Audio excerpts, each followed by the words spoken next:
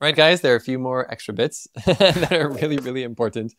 And um, this button that I somehow missed is probably the most important button when you are loading up a patient's consultation. And this is my consultations. So when I load up a patient, I want to know if I've spoken to that patient before, because there's nothing more embarrassing than introducing yourself like, hello, I'm Dr. Michael, one of the GPs. How can we help you? And they're like, oh, yeah, I've spoken to you a million times. And then you actually don't remember them. So if you click on My Consultations, it will filter out all of your consultations, uh, all of the times that you have actually seen that patient. As you can see, my name is here. And typically, I have a way of kind of writing up consultations where I will have the home, I will have the work, and by clicking my consultations, I can quickly kind of go down and see what does this patient do, who do they live with, and so forth. My consultations is super, super useful. If you click on them, you will turn it off. And as you can see, there are other doctors that spoke to Tilly Tester as well. Another thing that is really, really useful is text search. So I use this quite a bit. I want to find out if someone has spoken about the patient's prostate. Uh, they haven't, unsurprisingly. Uh, although it doesn't say that Tilly Tester is female, I always kind of think that she's female somehow. Um, but let's see if someone spoke to them about their bowel.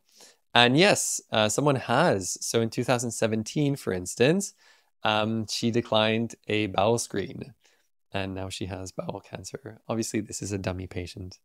Um, and she did talk about her bowels in the past and she occasionally had accidents. So, um, text search is something that I use a lot. And I really, really love text search. So my consultations and text search, those are two little tips that I still wanted to show you. There's actually one more. I'm going to add this consultation and show you something that I was completely shocked by when I came across. If you want to put down someone's weight, EMIS will typically use kilograms. Patients will typically not used to kilograms. And so someone will tell me that they're 11 stone 5. And I'm like, I don't know what 11 stone 5 is in kgs.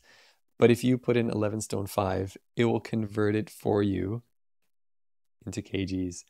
And the same thing goes for height. Uh, crazily enough, if they say they're they're five foot four, for instance, if I have their weight and their height, it will prompt me to cal- calculate their BMI, which is just fantastic to be honest.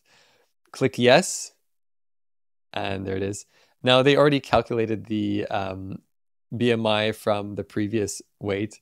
Uh, there's some information here that this patient has gained 27% from her previous reading. Gosh. So that's maybe something that you want to have a chat with the patient about.